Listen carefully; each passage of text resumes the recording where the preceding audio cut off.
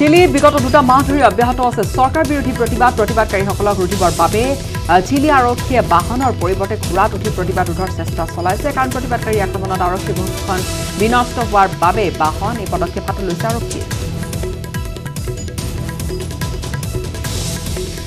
লেবাননৰ বেইৰুটৰ ৰাজপথত টায়াৰ জ্বলাই প্ৰতিবাদ সাব্যস্ত কৰিছে প্ৰতিবাদকাৰীসকলে। বিগত কেইবাদিন ধৰি চৰকাৰ বিৰোধী প্ৰতিবাদত উত্তাল হৈ আছে সমগ্ৰ চহৰখন। শুকুৰবাৰে ঠায়ে ঠায়ে ৰাজপথ অৱৰোধ কৰি প্ৰতিবাদ কাৰ্যসূচী ৰূপায়ণ কৰিছে প্ৰতিবাদকাৰী। নিউজিলেণ্ডত আৰক্ষীয়ে নষ্ট কৰিলে মিলিটাৰী ষ্টাইলৰ বন্দুকবোৰ। আজিৰে পৰা এনে অস্ত্ৰ দেশৰ কোনো এজন নাগৰিকে মজুত ৰখাটো আইনমতে অবৈধ ঘোষণা কৰা হৈছে আৰু লগতে এই বন্দুকৰ লাইচেন্সো বাতিল কৰা হৈছে। চলিত বছৰৰ মাৰ্চ মাহত গীৰ্জাঘৰত সংঘটিত হোৱা আক্ৰমণৰ পিছতে দেশখনৰ সেৱা কৰিব মছজিদত আক্ৰমণৰ ঘটনা সংঘটিত হোৱাৰ পিছতে দেশখনৰ চৰকাৰে গ্ৰহণ কৰিছে সিদ্ধান্ত। চিৰিয়াত এলানি বোমা বৰ্ষণৰ পিছতে শ শ লোকে চিৰিয়া আৰু টাৰ্কিৰ বাব আল হাৱা সীমান্তত প্ৰতিবাদ সাব্যস্ত কৰিছে। এই বোমা বৰ্ষণৰ ফলত বহু নাগৰিক নিহত হৈছিল এনে বোমা বৰ্ষণ বন্ধ কৰিবলৈ দাবী জনোৱাৰ লগতে টাৰ্কি সীমান্তৰ গেট খুলি দিবলৈ আহ্বান জনাইছে প্ৰতিবাদকাৰীয়ে।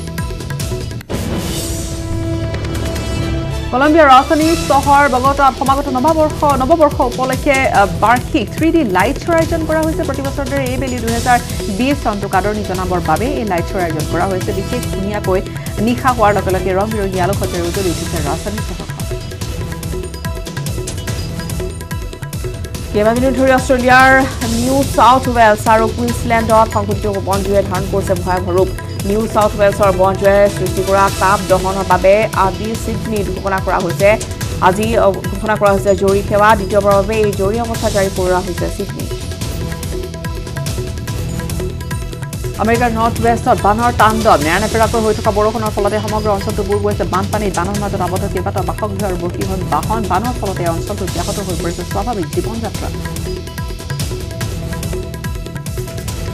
ইটালীত আয়োজন কৰা হৈছে স্কী প্ৰতিযোগিতা ডাঠ ওপৰত স্কিং কৰি কেইখন দেশৰ প্ৰতিযোগীয়ে অংশগ্ৰহণ কৰিছে প্ৰতিযোগিতাত ডাঠ বৰফৰ ওপৰত স্কিং কৰি অভিনৱ স্থান প্ৰদৰ্শন কৰিছে বহুকেইজন প্ৰতিযোগীয়ে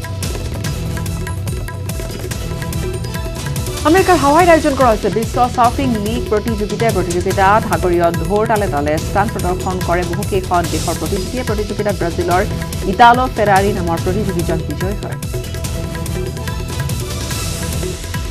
ভেনিজুৱেলাৰ প্ৰি খ্ৰীষ্টমাছৰ আনন্দ সমাগত খ্ৰীষ্টমাছ উপলক্ষে আলু সজ্জাৰে উজ্বলাই তোলা হৈছে প্ৰতিটো ৰাজপথ আৰু গীৰ্জাঘৰ খ্ৰীষ্টমাছৰ বাবেই দেশখনৰ চৰকাৰী বন্ধৰ ঘোষণা কৰা হৈছে।